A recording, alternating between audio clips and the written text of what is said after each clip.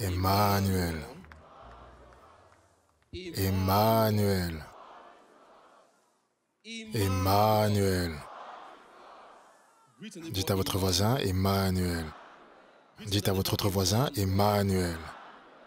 Dites Dieu Tout-Puissant est avec nous. Parce que le Dieu Tout-Puissant est avec nous, nous ne craindrons aucun mal. Merci Seigneur.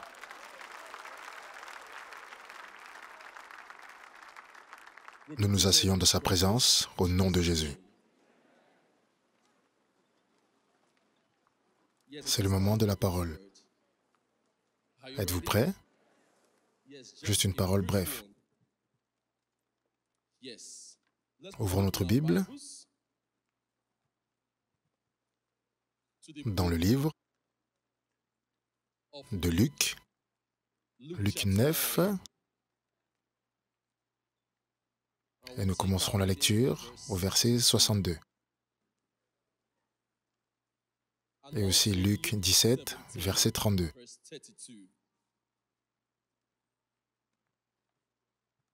Je lis. Jésus lui répondit, Quiconque met la main à la charrue et regarde en arrière n'est pas propre au royaume de Dieu. Luc 17, verset 32. Souvenez-vous de la femme de Lot. Alléluia. Ceci nous conduit à ce mot d'encouragement intitulé Pas de compromis. Dites à votre voisin, pas de compromis. Nous pouvons aussi lire 2 Timothée, chapitre 4, verset 10. Et aussi, nous pouvons lire 2 Corinthiens, chapitre 6. Alléluia. Quand nous disons pas de compromis, qu'est-ce que cela veut dire? Est-ce que le mot compromis veut dire dans ce contexte Faire un compromis, c'est se détourner de la vérité et s'éloigner de notre Seigneur et Sauveur Jésus-Christ. Dites à votre voisin, pas de compromis. Faire un compromis, c'est se détourner de ses convictions, se détourner de nos croyances. Faire un compromis, c'est se détourner de ses promesses et engagements.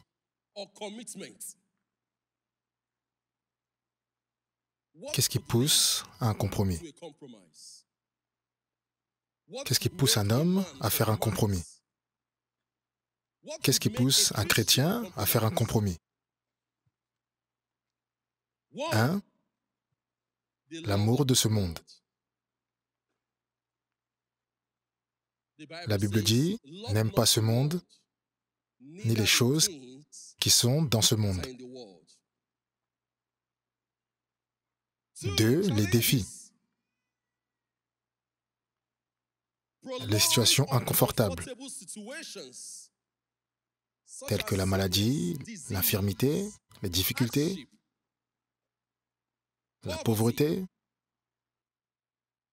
le retard. Quelqu'un dise le retard. Le retard a fait que beaucoup de personnes fassent des compromis. Oh, mon temps a expiré, mon temps a expiré. Je n'ai pas le temps. Écoutez, quand votre temps expire, c'est le moment où le temps de Dieu arrive. Dites à votre voisin, lorsque votre temps expire, c'est le moment où le temps de Dieu arrive. Quand votre temps expire, et le retard peut vous conduire au désespoir. Et quand vous êtes désespéré, vous pouvez faire n'importe quel compromis.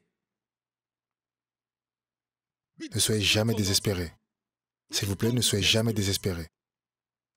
Si vous êtes désespéré, vous donnerez plus pour moins et prendrez moins pour plus. Je répète, si vous êtes désespéré, vous donnerez quoi?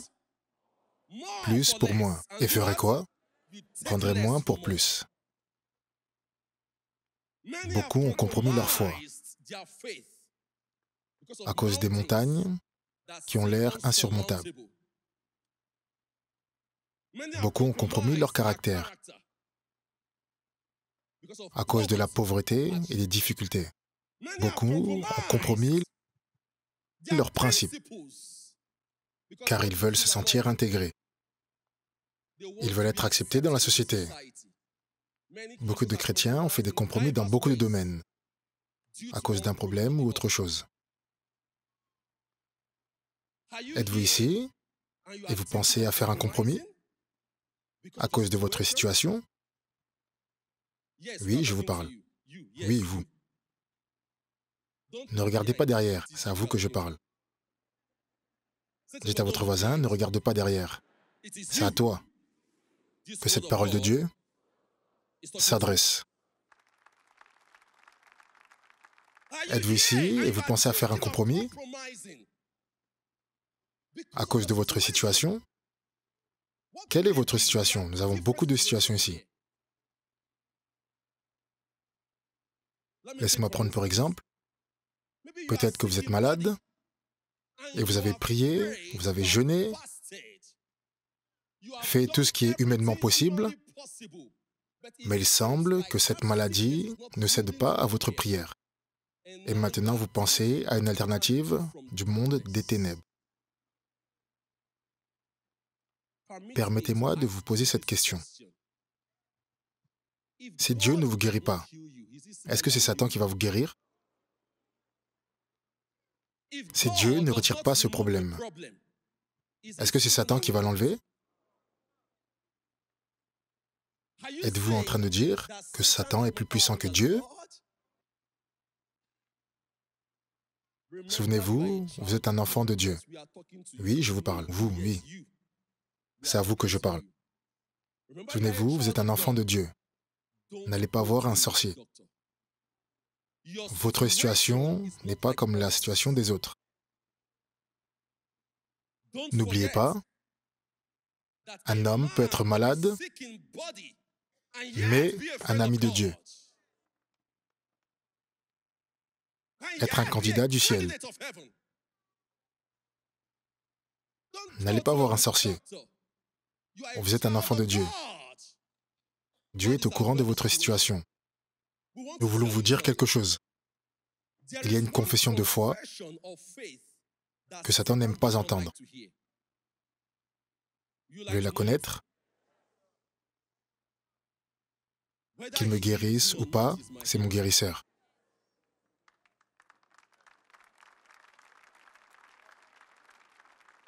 Qu'il me délivre ou non, c'est mon libérateur.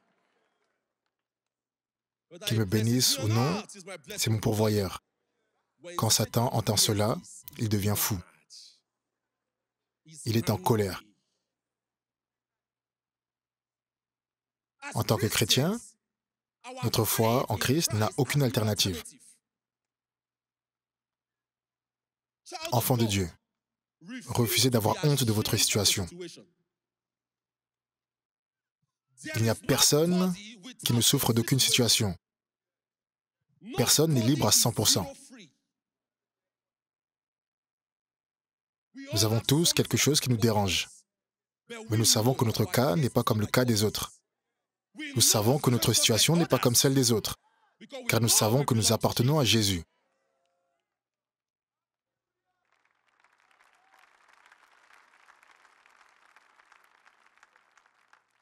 Votre situation ne détermine pas votre vie chrétienne. Êtes-vous là? Vous pensez à faire un compromis? Vous pensez à retourner à quelque chose dont vous avez été délivré? Vous pensez à retourner vers quelque chose que vous avez autrefois rejeté? Vous pensez à retourner vers quelque chose que vous aviez renoncé? Ne laissez pas votre situation vous emmener vers un compromis. Ne laissez pas votre situation vous pousser vers vos vomissures. N'oubliez pas 2 Pierre, verset 22, et Proverbe 26, verset 11. Seuls les chiens mangent leur vomi. Ne laissez pas ce par quoi vous passez vous emmener vers votre vomi. Ne laissez pas ce par quoi vous passez ternir votre bon caractère ou votre éthique à cause de l'argent ou de la célébrité. La Bible dit qu'un bon nom est mieux que l'or et l'argent. Proverbe 22, verset 1. En d'autres mots, l'intégrité est meilleure que la prospérité. Vous dites peut-être, tout le monde le fait, mais le fait que tout le monde le fasse ne veut pas dire que c'est bon. Pas de compromis. Je n'oublierai jamais ce que notre mentor nous a appris. Prophète Tibi Joshua. Il a dit qu'il est mieux de vivre pauvrement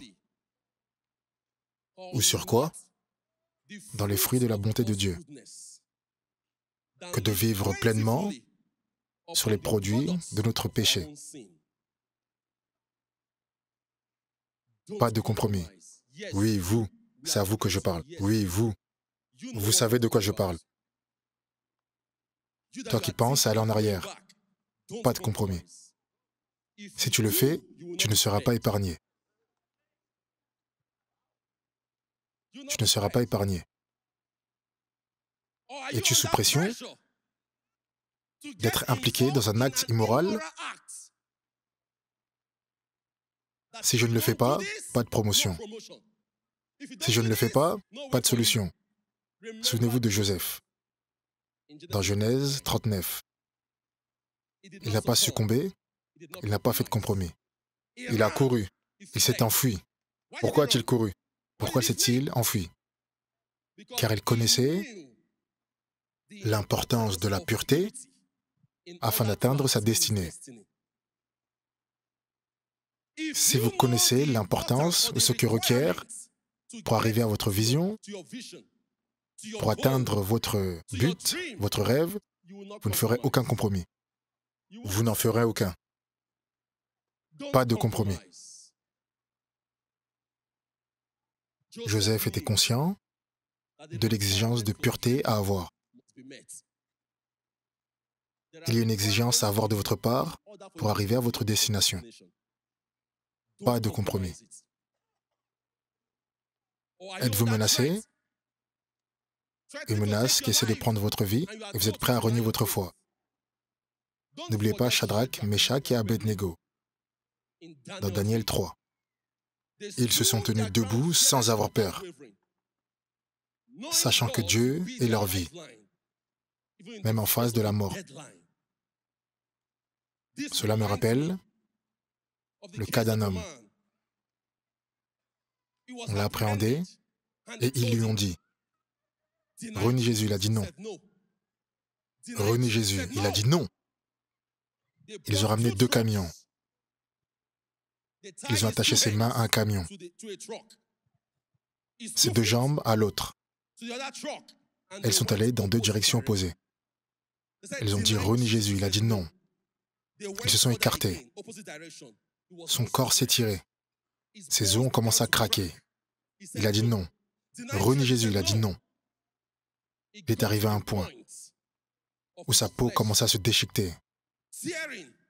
Il a dit, je renie. Et dès qu'ils l'ont libéré, il est décédé sur le coup. Si vous avez souffert tout ce temps et que vous êtes maintenant à 70%, pourquoi retourner en arrière? Si vous avez enduré tout ce temps, c'est maintenant que vous voulez retourner en arrière? C'est trop tard. Peuple de Dieu, nous ne pouvons pas nier le fait que les choses sont difficiles. Les choses sont difficiles. Les choses sont difficiles.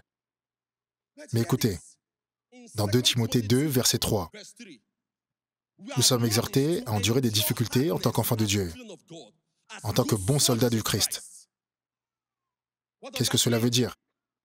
Jésus ne nous a jamais promis qu'il n'y aurait pas de difficultés, mais il a dit endurer.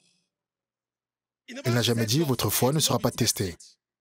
Il nous a donné la foi pour faire face à nos défis. Il nous a donné la foi pour qu'elle soit testée. Et quand votre foi est testée, votre endurance a une chance de grandir. En tant que chrétien, nous devons avoir une endurance qui grandit. Nous devons avoir quoi? Nous devons avoir l'endurance. Mon mentor, le prophète Tibi Joshua, a dit Souffre aujourd'hui, et quoi? Et profite demain. Si je vous demande, qu'est-ce que vous préférez? Endurer, puis profiter, ou profiter, puis endurer? Je ne vous entends pas. Je répète. Qu'est-ce que vous préférez Endurer pour profiter ou profiter puis endurer? Écoutez cela, peuple de Dieu. Si aujourd'hui tu jouis de ce que tu dois endurer, demain tu endureras ce dont tu aurais dû jouir. Pensez à cela. Nous répétons. Si aujourd'hui tu jouis de ce que tu dois endurer, demain tu endureras ce dont tu aurais dû jouir. Enfant de Dieu, pas de compromis. Dieu s'est vanté de vous au ciel, tout comme il a fait avec Job. Ça, c'est ma fille. Sarah. Tu peux aller, elle ne fera pas de compromis. Ça, c'est mon fils, Amos. Vas-y, teste-le. Il ne fera pas de compromis. Ne déçois pas le ciel. Ne déçois pas Dieu. Dieu Tout-Puissant est au courant de votre situation. Accrochez-vous à votre foi. S'il l'a dit, il le fera. Pourquoi ne pas endurer? Pourquoi faire un compromis? Que Dieu bénisse sa parole dans votre cœur. Au nom de Jésus.